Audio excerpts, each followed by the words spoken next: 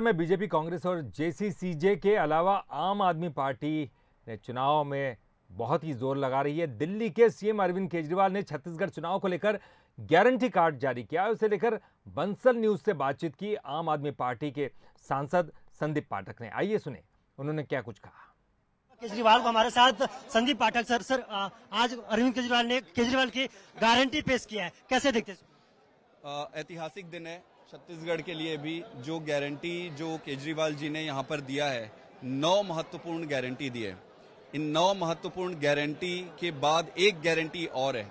वो गारंटी है किसानों से संबंधित है। वो दसवीं गारंटी हम थोड़े दिन के बाद देंगे, उस पर स्टडी कर रहे हैं एनालिसिस कर रहे हैं, क्योंकि हम जो गारंटी देते हैं, वो चाहे सर कट जाए, उसको पूरा करते हैं। तो किसानों के लिए स्टडी कर रहे हैं, बहुत अच्छी गारंटी आएगी दसवीं गारंटी थोड़े दिन में। इस तरीके से देखा जा रहा है कि तमाम जो पार्टियाँ है वो गारंटी लेकर आ रहे हैं घोषणा पत्र लेकर आ रहे हैं। आप लोग गारंटी लेकर आए हैं। क्या वजह मानते हैं?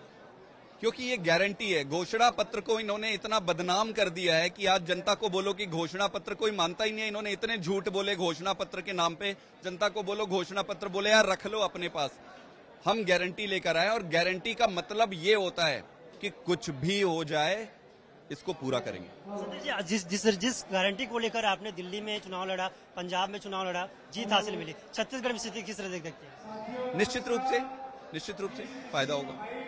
क्या कुछ कहेंगे जिस तरीके से लगातार चुनाव सरगर्मी तेज़ी आ रही है?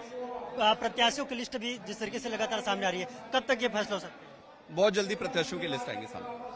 मेरे साथ संदीप पाठक जिनका साफ़ तौर पर कहना है कि केजरीवाल की गारंटी छत्तीसगढ़ में आई है और निश्चित तौर पर जिस तरीके से दिल्ली और पंजाब में आपने फतह हासिल किया है, उसी तर्ज पर छत्तीसगढ़ में भी आगामी समय में रणनीति बनाई जाएगी। टिकेश वर्मा, रायपुर, छत्तीसगढ़।